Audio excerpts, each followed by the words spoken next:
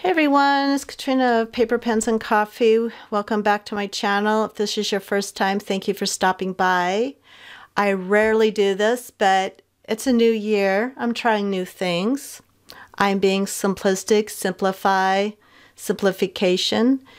If you like this video, please give it a thumbs up. And if you would love to see more from me, please subscribe and click all of the things, the bell thing. I'm not going to be fancy. I'm not going to put any things that pop in onto the screen and then pop out of the screen to remind you. It is a cold, wintry day in the Midwest, and I decided I would try some of the new paints that I just purchased for myself from Rangers Inks, the Dina Wakleys, they are different paints than I've been using before. I've just been using paints from Target, which are acrylic paints. They've changed their formulas or something when they change their brand names. I was gifted this one by one of my creative friends about two years ago. This is the only one I had. It's called Sedona. Making sure the camera gets it. Well, I researched, I hemmed, I hawed. I didn't want to get paints in the same colors of everyone else that I follow, just because I am trying to be, besides simple, I'm trying to be authentic to my style, to what I like to do. Therefore, this is one of the first of few videos I'm going to record. I am just trying something out. I watch videos that people record it like this and they have great success. And I've watched other videos that people record like this and they don't have great success. I'm just putting it out there in the universe. Who knows? The reason I'm recording videos, the reason I am taking the time to set up my cameras, making sure the dogs are staying quiet in the background, is that I feel that I have something to share and if you want to share it nowadays, you have to share it through the YouTubes or Instagram or even over on Ko-Fi or Patreon. Well, Patreon gives me a full-blown anxiety attack. I was thinking of doing Patreon and I shut that down in a hot minute. I am, though, going to give a go on Ko-Fi. K O FI. I might put a little blurb right here so you can know what I'm talking about. My link will be down below in the description box. I have some printables that I have created in my shop. Thank you to all that have purchased from me so far. I really appreciate that. Uh, those funds are going to go towards another goal of mine to use for filming. I haven't decided exactly what yet. I guess that's proper English, what I'm going to use it for. Once I do, I absolutely will put it in the goals section for you. Who knows, by the time I edit this, this video, I might have my goals set up already. So what I'm going to do today is show you what I just created, and then I'm going to recreate it for you for the ones that might want to try it at home. I just want to make sure I have enough room on my board here. Okay, this is a junk journal that I made myself, meaning that I gutted it, I made the signatures, I glued it in place, and I'm creating in it. I decided, if you follow me on Instagram, you probably already know this story, but I am going junk journaling this year. I've put it off I've mentioned over on Instagram also, I don't get junk journaling still. I know there's no hard rules. There's nothing that you're supposed to follow along. Just create and express yourself. Yet, I notice a lot of people with the same color palettes or the same ideas, and they all look the same to me. And that's great, but my brain registers it I don't want to do that. Maybe it's my ADHD talking, maybe it's my autism talking, or maybe it's just little Katrina who finally gets to have all of these wonderful toys as a grown-up and get to play with it. So I'm just going to show you this quickly before I do my demonstration. This was a book that I originally had pockets in, meaning that I followed a video by, don't want to butcher her name, so I think it's 49 Dragonflies. So I watched her video almost three years ago. I'll link right here my flip through of it. And I was fascinated by making the pockets. That's all I did with it. I didn't do anything else with it. I didn't know what you were supposed to do once I made it. So I checked it off my creative list. Well, approaching 2023 saying we're just going to simply do things and just give it a try without any rules. So I got it out. I re-gut it, meaning I ripped everything out. And then I had a craft paper, Archer and Olive, which I didn't fully use because at the time, and I still don't really like craft paper, but I notice a lot of people use craft paper for these things. So why not join in on that? So what I did is I rebound, I, let's see if we can come in just slow without getting blurry. I made four signatures. Signatures, if you're not familiar with that word, all it means is a bunch of papers sewn together. It's fancy dancy, isn't it? So I resewed the signatures. Let's see if I can show you this one. There you go, almost. I used some of my um, embroidery floss, nothing fancy. Once I got all of this, I'm going to do a more detailed video if you guys are interested. I sewed it on a piece of cardboard, which was the width of the spine. Let's go back up. Don't get blurry, please. And we're getting blurry. Let's see if we can focus again. Hang on, guys. Okay, I'm back. For some reason, my camera focusing, once I've focused it too much, it gets blurry. So I'm back. So anyways, I was telling you, I glued them in here and I used a extra strong Elmer's glue. I didn't get anything fancy.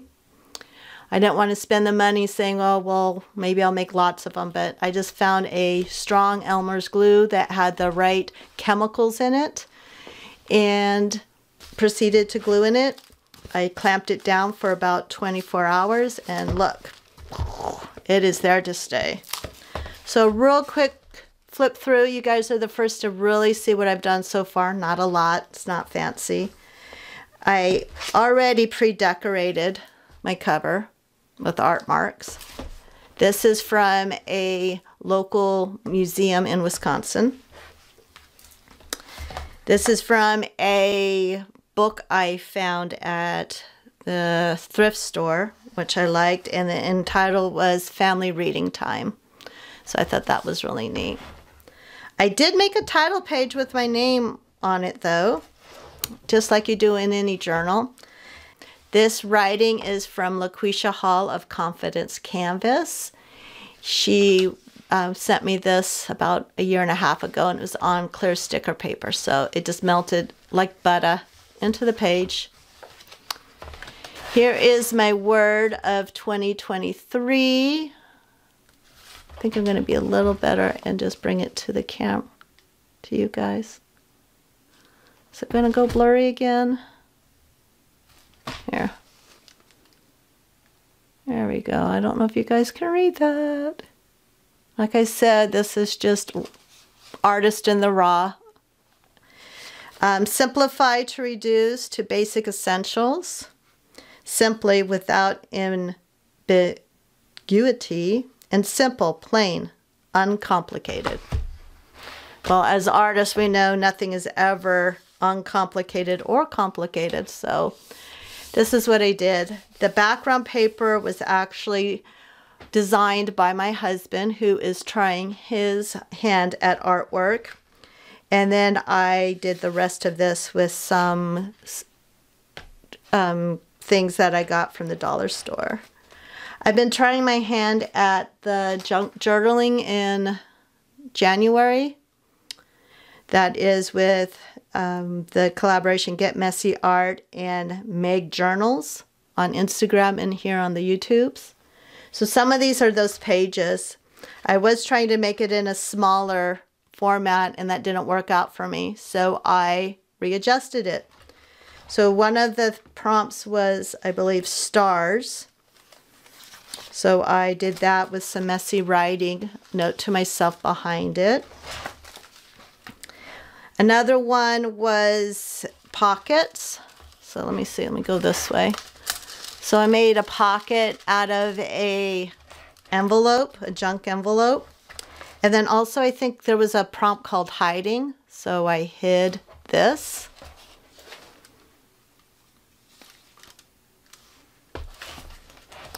Over here, I put in a tip in from the original pockets of the book. And this was a side pocket. That was one of my favorite ones to make, was a side pocket. Will I put anything in there this year? Who knows? If I do, I'll let you guys know. This is the other side of the side pocket. So all I did was get some washi tape and tape it in there. Here is my first attempt using Dina Wakley's um, printables. She has a supporter group over on Facebook and you get access to that. So all I did was write a scribbly note to myself. I then just scribbled with some of my um, waxy crayons. If I really wanted to, I could take a water pen and, and make it look like watercolor, but I don't want to. And then I used some of my gel art pens through the, can't think of it, my brain will not let me think of the word. So I probably will put the word right here when I do edit this. And these are some more of her art marks. I just used my hole puncher to make them. Moving on, this is me practicing drawing. Your life, your journey.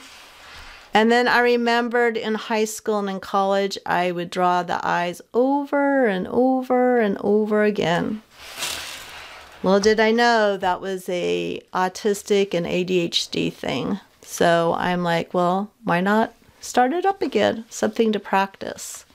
Here's another part. I just glued this one down because it just had one page of it. Here's another pocket I originally made. Pretty clever. And then I believe one was about postage from the January prompts, something of that nature, or travel. So what I did is I just made a collage with some of the items. I think this one and this one was from the January Get Messy people. They gifted this to you if you went to their Zoom. I have some stamps from my collection, and then I have some cancellation stamps from my pen pal in the UK, Melanie. Hello. So I thought that was clever. This, I was just doing art marks and background. And one thing I do is I love making backgrounds, but I hate covering them up. See, if you just cover it up, even like that, you're missing out on something. That's just my opinion.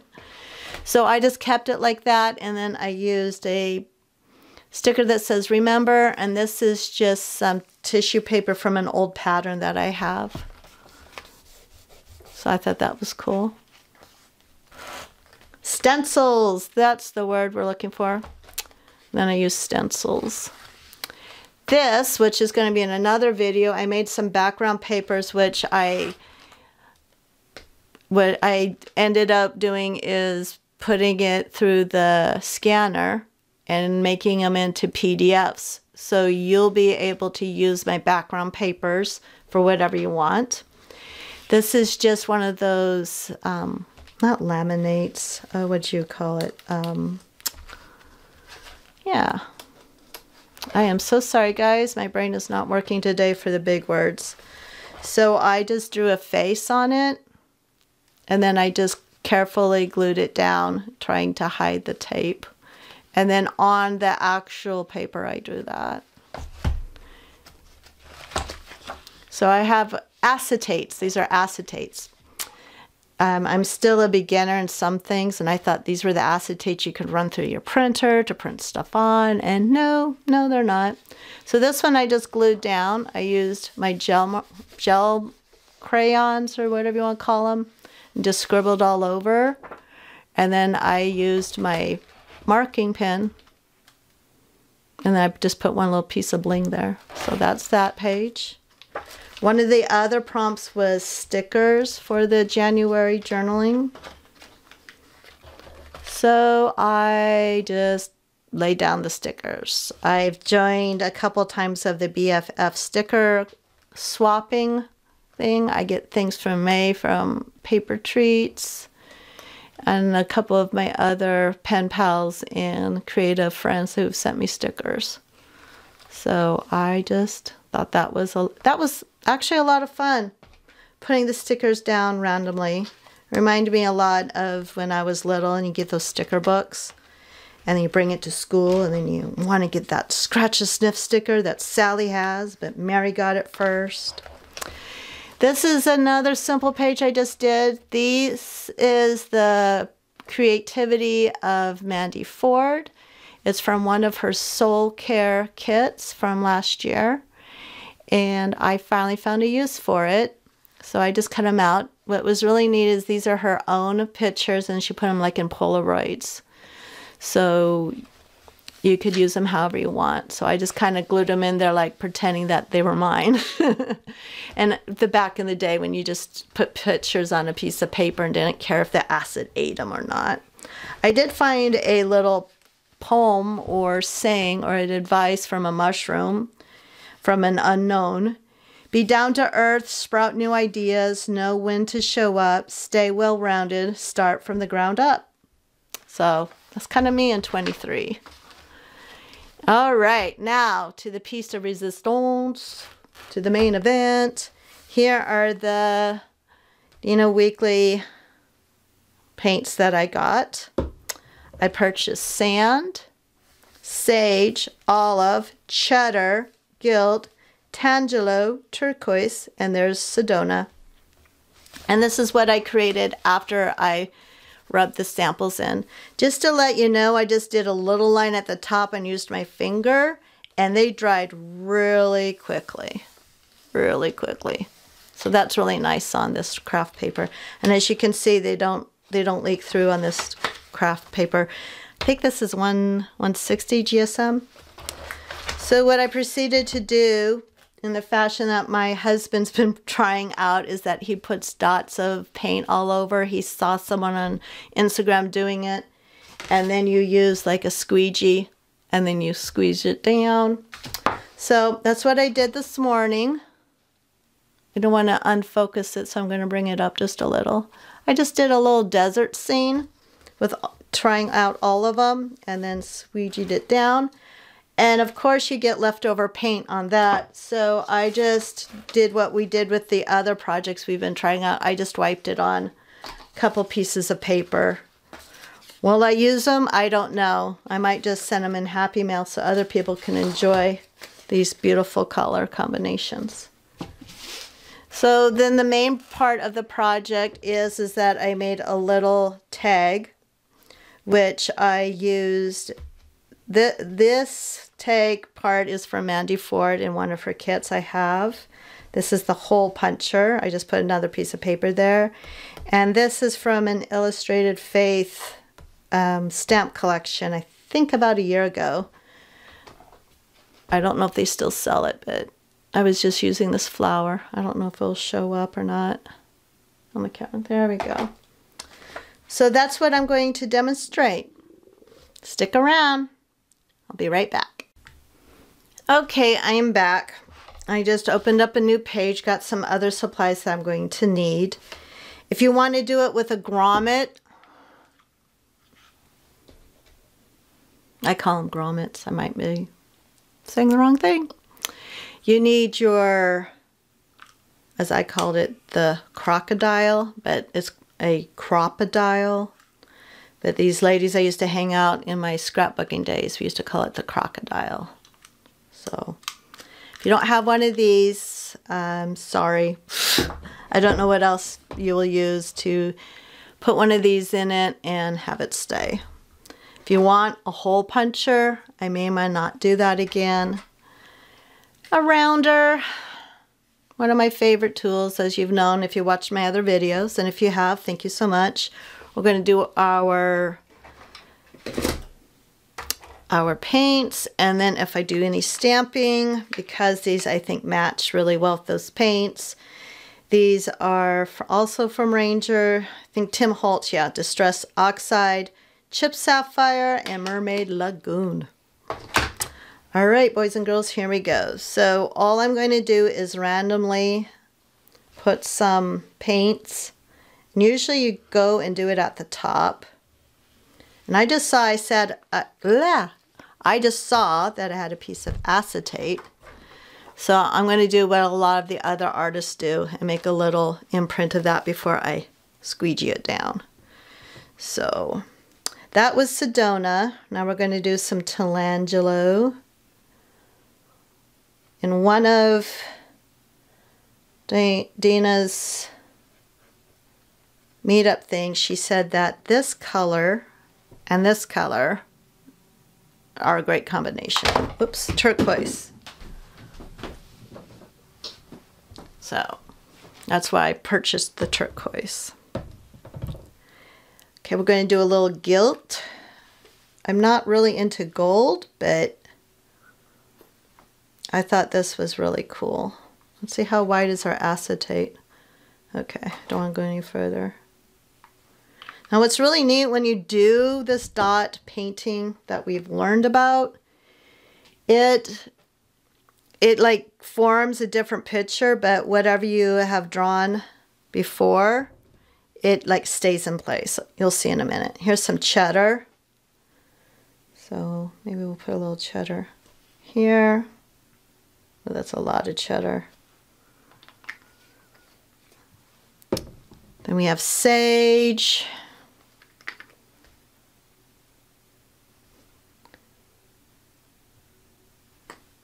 Trying to get the air out. There we go. Barely, uh, if you're going to draw like this, you barely have to push on these things. That's what I learned about my Sedona the first time I used like way too much. Also, what's really cool about these paints, if you haven't used them yet, is that you can um, wet your brush and then water them down and then use them almost like watercolors. And remember, there's no right or wrong way. I don't know who started this movement. If anyone does, please put it in the comments so I can give the proper, proper credit. But here we go. So that's all I did. Now I'm just going to put the acetate, whoops, going to move this out of the way real quick. I'm going to put the acetate here and just kind of smush it down just to make sure it's all on the acetate.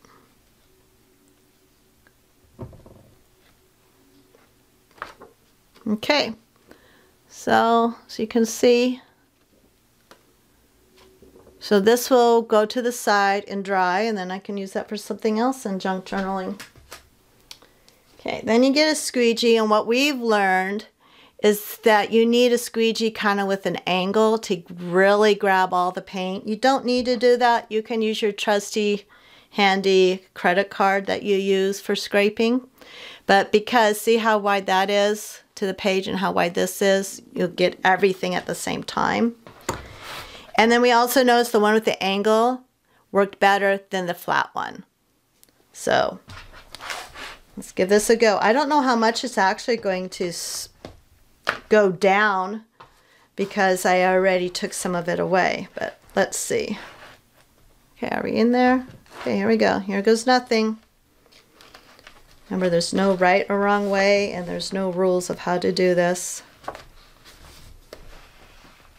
Oh, nice. Nice. I like it. Different. Okay, let me put the clips back on real quick so you guys can see it. Because the more you put in your journals, your art journals, the more chunky it gets and the more it just wants to close in on itself. Can you see that? That's pretty cool. And there's really no paint left over, but there's paint left over here. And in my book, waste not, want not. So I'm just going to take a plain piece of paper and then I'm just going to angle it and push down and see what happens. Okay, there's still paint there. So I'm just going to turn it the other way. Easy cheesy lemon squeezy. There's still paint there, so I'm just going to go like this. Oh, that's cool. Ooh, I think I'm to keep that. And when it dries, it'll be kind of 3D-ish. I don't know if you guys can see that or not. Sorry I keep saying that, but I had some trouble with my focusing. And I want to make sure I have it all. Okay, just one more. And as you notice, when you scrape it down and they get mixed up, it'll start getting a little muddy. So if you don't want that, then just scrape as much as you want and then call it a day. We usually use baby wipes, but right now I'm just gonna get that. Okie dokie. So starting to dry. It's different. If you wanted to go the other way, you could, or you could start doing art marks.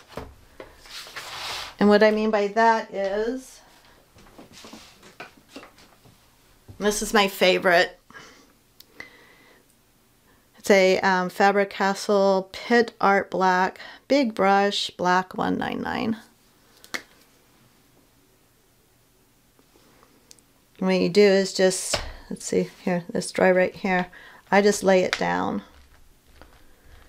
Kind of make opposite little black marks. Then if I want to do a little more there, I just go like this. Pretty cool.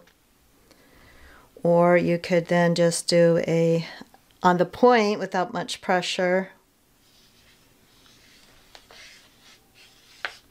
loopity-doo. Or you can just drag it and whatever hits the page.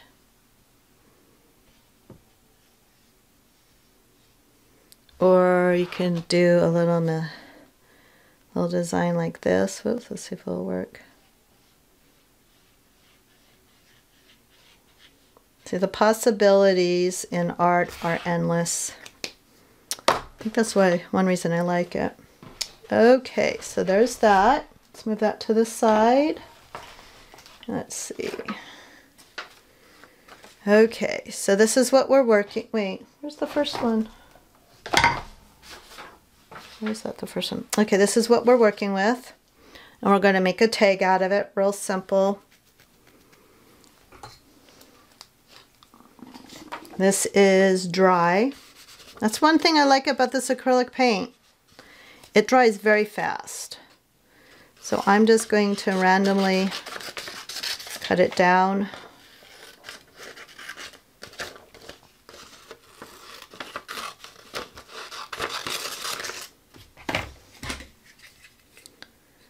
And round the corners. One more time.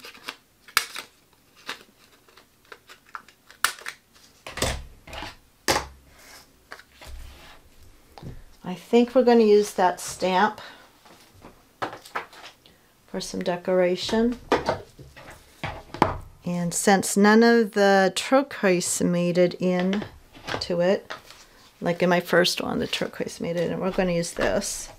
What I've learned when you're going to just randomly stamp in junk journaling, don't try to be precise, like, oh, I want it exactly like that, because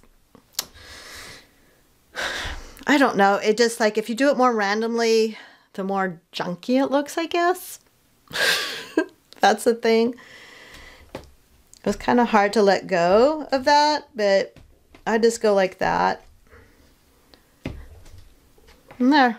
See? Ooh. Okay, so we have that. One. Let's put that back over there.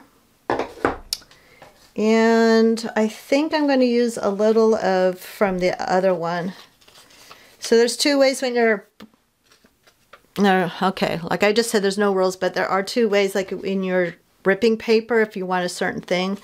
So if I rip it this way, I don't know if this will show as much. Here, let's try this. If I rip it this way, you get the edge of the actual paper, right? Now if I rip it this way, the other way, then you're just getting that part. So you're kind of getting the under part when you rip it one way. So it depends on what you're, how you want it to look, is what I'm saying. This is very delicate. This was from a pack that I bought whew, three years ago from my creative friend Heidi P. She used to sell little knickknacks of old papers and whatnots on our Etsy shop. And so I grabbed one of them. Kind of holding piece of history in here. This was someone's handwriting in a letter. So I'm just going to bring it like that because the two edges are the same. Actually, instead of another rip piece, I'm going to use my hole puncher. And another hole puncher. And yeah. So I'm to glue one of these on. I just used the dollar dollar 25 store tape. Save money where you can. Only problem is on the older paper it have a hard time peeling off. There we go. Okay, and then just stick that there. And I'm to do something I didn't do on the other one. I'm to kind of make like a, um, you know, when you do those whole, hole saver things.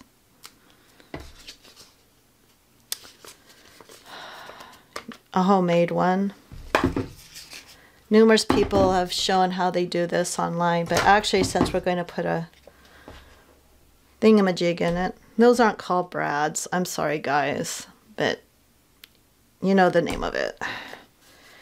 I'm going to punch the hole. Can you see it? Yeah, okay. And you insert it.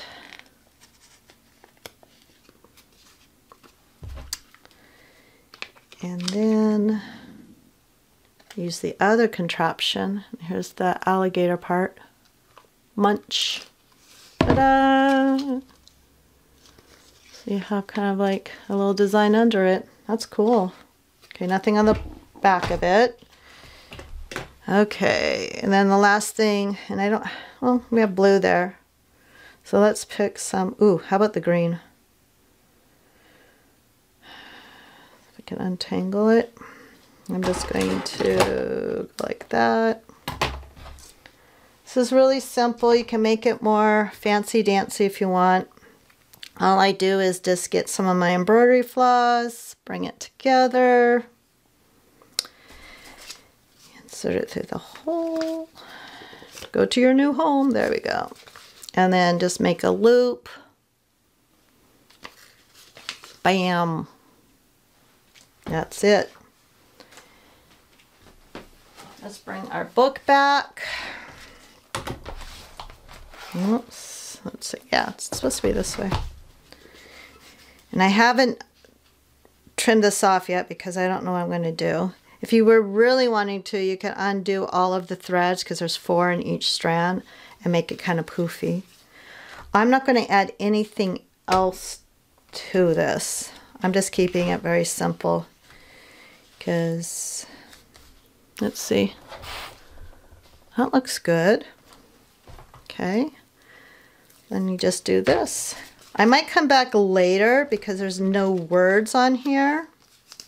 I mean, besides these. And I might do some scribble writing. You guys, I think that's the technical term of it.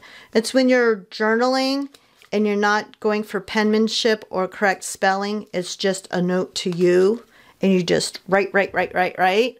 A lot of um, journalers and artists do that kind of like for therapy. You're just getting your thoughts out on the paper, but it's just for you. But at the same time, you know, no one really has to know what's reading. It's just between you guys. You and the book, I mean. So, ooh, excuse me if you can hear my stomach. I do apologize. That is embarrassing.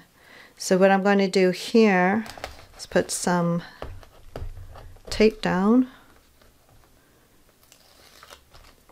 And then I'm just going to,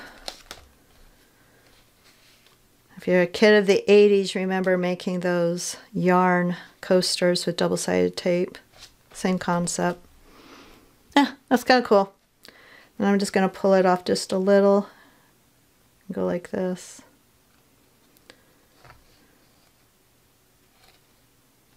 Or maybe not. Alrighty, and that's it. So those are the paints I have. I'm looking forward to using them a lot more. Here are two samples. Same paints. I used all of the paints. Six, nine, six, seven, eight. Eight paints. There's one way I did it, and here's another way I did it. Thank you so much for joining me today on this new journey in 2023. This is my first video of the year, so Happy New Year. And I'm looking forward to doing more of these type of videos for you. If you are a follower, please thumbs it up. If you're not a follower yet, click that subscribe, subscribe, ah, subscribe button. I cannot talk today. Sorry, dyslexia. And also, I do post in my community feed. I am trying to get better at that. So if you scroll through through the community and you see my post, give it a thumbs up. All right, guys, until next time, remember, where is it? Oh, I just have a little messy hands, happy life. See you next time. Bye. Thank you for watching. Remember, messy hands, happy life. See you next time. Bye.